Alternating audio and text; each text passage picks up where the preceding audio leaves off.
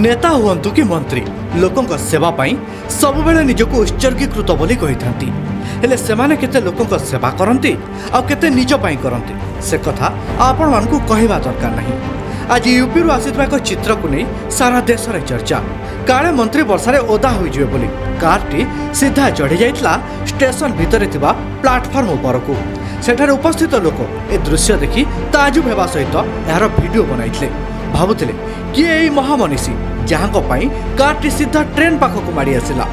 ମିଳିଥିବା ସୂଚନା ମୁତାବକ ୟୁପିର ପଶୁଧନ ମନ୍ତ୍ରୀ ଧର୍ମପାଲ ସିଂ ଟ୍ରେନ୍ ଧରିବାକୁ ଲକ୍ଷ୍ନୌ ଅନ୍ତର୍ଗତ ଚାରବାଗ ଷ୍ଟେସନକୁ ଆସିଥିଲେ ହେଲେ ଏହି ସମୟରେ ପ୍ରବଳ ବର୍ଷା ହେଉଥିଲା ତେଣୁ ଏସ୍କାଲେଟର ବା ଯାନ୍ତ୍ରିକ ଶ୍ରେଣୀ ନିକଟକୁ ଯିବା ପାଇଁ ସେଠାରେ ଥିବା ରେମ୍ପ ଉପରକୁ ଗାଡ଼ି ଚଢ଼ାଇ ଦେଇଥିଲେ ମନ୍ତ୍ରୀଙ୍କ ଡ୍ରାଇଭର ସେଠାରେ ଉପସ୍ଥିତ ଲୋକେ ଭାବୁଥିଲେ କିଏ ବୋଧେ ମନ୍ଦ ଉଦ୍ଦେଶ୍ୟରେ ସେଠାରେ ଗାଡ଼ି ଚଢ଼ାଉଛି ତେଣୁ ଲୋକେ ଛାନିଆ ହୋଇଯାଇଥିଲେ ତେବେ ପ୍ଲାଟଫର୍ମରେ ଗାଡ଼ି ରହିବା ପରେ ସେଥିରୁ ଓହ୍ଲାଇଥିଲେ ଯୋଗୀ ସରକାରଙ୍କ ନାମଜାଦା ମନ୍ତ୍ରୀ ଧର୍ମପାଲ ସିଂ